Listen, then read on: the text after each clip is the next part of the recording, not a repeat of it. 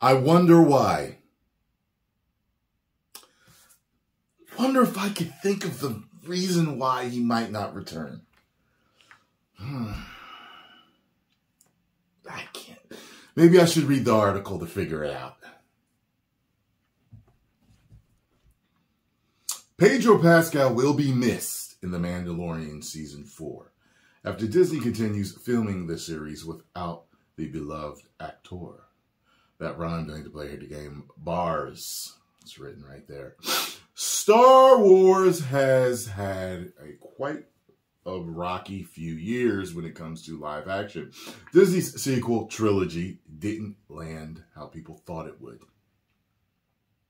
It crashed with most fans being disappointed with where the trilogy went. It's so funny because there are people talking trash to George Lucas. You ruined my childhood and all this other stuff with the prequels. I never felt that. I didn't know about it until I became a YouTuber and I really started to read and hear what the fandom had to say online. Don't they wish he had never sold it now? After the sequel trilogy, Lucasfilm has been trying to win fans back, but the studio hasn't released another Star Wars movie since Star Wars Episode 9, The Rise of Skywalker, came out in theaters. Check this out, Disney. I already, I, oh God, I feel like I already know where this is going. You better make The Mandalorian the Mandalorian. Either make it him, make it Dins, or you eventually make it Baby Yoda, Grogu. Teach you to ta Your next season's going to be horrible. It's going to be terrible. Its ratings will be garbage. I know you watch us. Listen to the fans. You better switch it back because you already baited and switched us, you better switch it back. Okay? Hit the switch because the train of failure is coming. Ding, ding, ding, ding, ding, ding. Mm, mm, mm, mm. Hit it. Ting, ting, mm, mm. So it misses you. Because I'm telling you, it's on the way for season four. If you do not bring it back to him or make it Grogu, it's done. It's done. I have no interest in watching it at all, really, anyway, other than maybe you'll switch it back. But it's also part of what I do. I review television series, episode by episode, and I really I, I review movies. I just, you are asking to crash and burn if you do not return the focus to them. Instead, Disney focused all their efforts on bringing Star Wars to Disney Plus. And while the franchise has had a lot of success, The Mandalorian, Andor, and Ahsoka fans are still unconvinced that Star Wars is in a better place. It's an understatement. Um,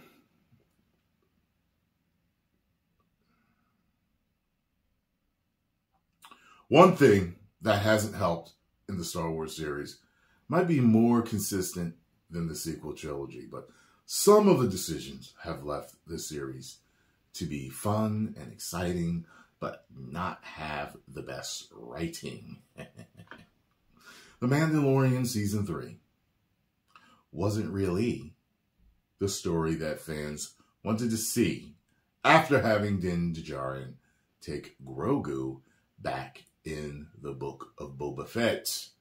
A lot of the season felt like Disney wanted to tie up a lot of those loose threads from the past years and set the series on to a new course. Killing off uh, Giancarlo Esposito's Moff Gideon so soon was a shock to some. Yeah, I figured he would last a little longer, but it seems that the villain was never meant to be the big bad of Lucasfilm's next major crossover. And I thought he was a really good villain. While the finale was good, it also felt like Pascal's Din Djarin wasn't in the spotlight anymore. When Katee Sackhoff's Bo-Katan again rejoined the ensemble cast. Fans realized after the directors stated that the title opens up the possibility for others to take over the role of the Mandalorian. that Din Djarin's time in the spotlight could be sparse in the future, and it seems that everyone's worries might suddenly come true. And they did. That's me saying that. Star Wars continues creating more projects connected to The Mandalorian. And with Jon Watts' mysterious skeleton crew releasing later next year, which will supposedly connect to the Mandoverse. Mando!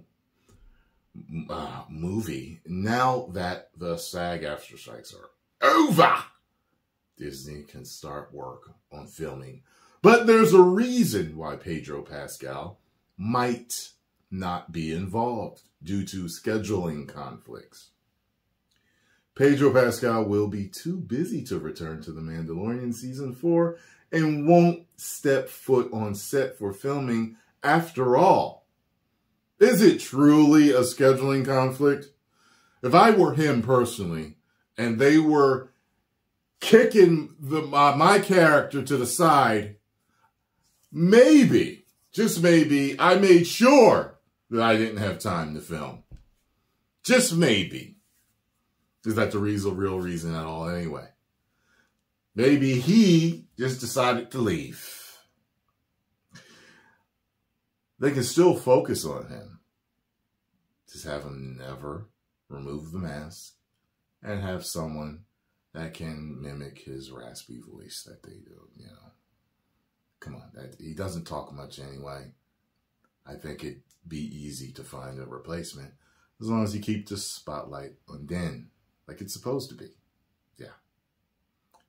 According to the Bespin Bulletin, Pascal will likely record his lines later for Din Djarin, but will be too busy filming The Last of Us Season 2 and Ridley Scott's Gladiator sequel to be available for The Mandalorian. It's also worth mentioning that the leading man, Pedro Pascal, will likely likely won't take part in filming, just like season three, due to his commitments to Ridley Scott delayed Gladiator 2, which is due to begin filming over the next few weeks, and Pascal's commitment to the second season of The Last of Us, which is slated to begin filming in spring 2024. So what? So he wasn't there for season three either. Interesting. Doesn't matter though. It really doesn't matter. As as long as he's not the the focus, fans don't care. You guys wait. You already saw what happened with season three. You wait and see now. Falcon fans won't be happy about this. It's obviously not confirmed by Disney, but it makes sense. For some reason, Disney wants to keep Din Djarin from taking off his helmet anymore, and it's cheaper to have Pascal voice lines for them. Sadly, it cut costs on quite expensive series, which shouldn't be an excuse. Some might say it gives more room for Katee Sackhoff's Bo-Katan to take over, which might very well happen. It's already happening. But fans uh, do know it won't be the last time Pedro Pascal is on the screen as Din Djarin. Dave Filoni's Mandoverse movie is still in the works, and it's very clear that Din Djarin's Ahsoka Tano and the characters from Disney Plus series will be joining the fight against Grand Admiral Thrawn after he returns to the galaxy. The Star Wars universe has been using bounty hunters such as, uh, okay, I don't care anymore about this. The fact of the matter is, whether he is returning or not eventually to show his face, it doesn't matter. It really doesn't because the character wears a helmet the whole time. You can have something imitate him. You can have him phone in the lines. It doesn't matter. But what matters is where you're putting the focus of the show and you know that this series will bomb if it's all focused on Bo-Katan. That rain rhyme. Don't hate to play the game. Bars. See what happens. I'm waiting for the next season. Now I'm waiting for the next season just so I can see how good it is. Because if you don't focus on him, you're done. Post comments down below. Let me know what you all think. You enjoyed my reaction to this news. Make sure you hit the like button, subscribe, and share. Woo.